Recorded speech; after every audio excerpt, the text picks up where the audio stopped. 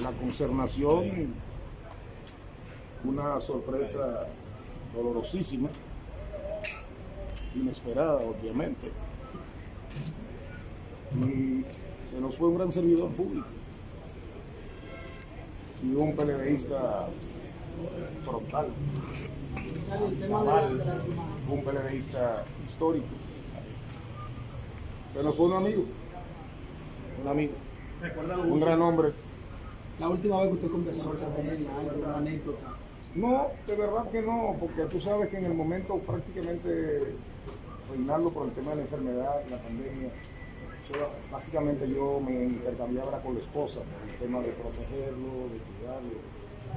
Y nada, El proceder del PLD con este tema de, de la, de la imagen que se dando dolor. eso, eso es asqueroso, eh, deleznable, eh, perverso, morbo puro, almas muertas, almas muertas.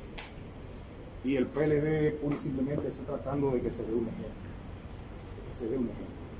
Porque con eso, con el sentimiento de la gente, de dolientes, no se puede jugar. Charlie, ¿favorecen ustedes que haya consecuencias en esta situación de reproducir una foto de manera Claro que sí. inhumana? Por eso, por eso enviamos al jefe de la policía una carta formal demandando una investigación y me informaron ahora, me informaron allá, allá arriba que el jefe de la policía había dicho, no tengo la información precisa, había dicho que se iba, que se iba a proceder y que se iba a investigar y que eventualmente habría consecuencias. Pero creo que a ustedes les toca un papel en esta coyuntura, no por Reinaldo, sino por cualquiera, cualquiera de nosotros.